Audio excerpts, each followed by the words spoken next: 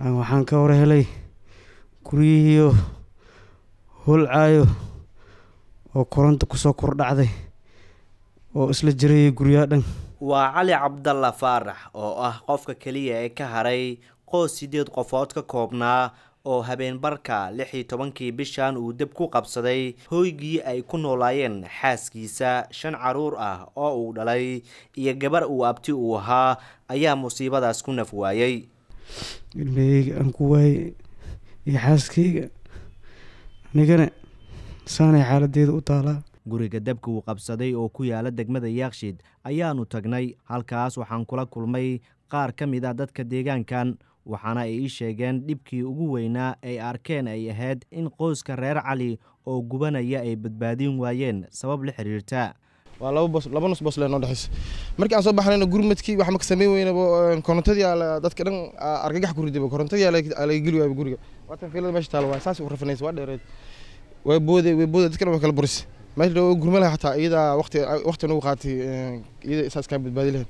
Dabkiina waxuu ku bilowday geedka oo maanaa oo guriga albaabkiisa hore maasidii meeshay ka kacday. Korontada beeko waay.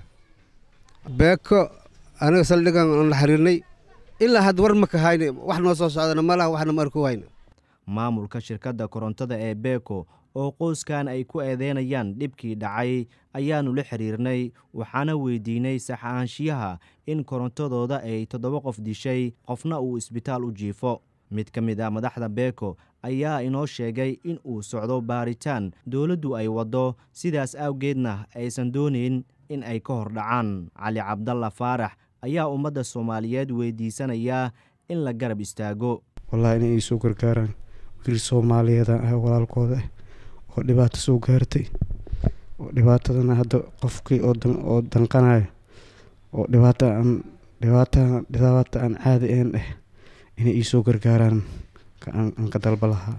Dowladda soomaaliyeed iyo kuwa walaalahay ah dal iyo dibad kuwa joogaba inay soo garab istaagaan aan jeclaa lahaa taxadar la'aanta shirkadaha bixiya korontada ayaa sababa dhibaatooyin xoogan.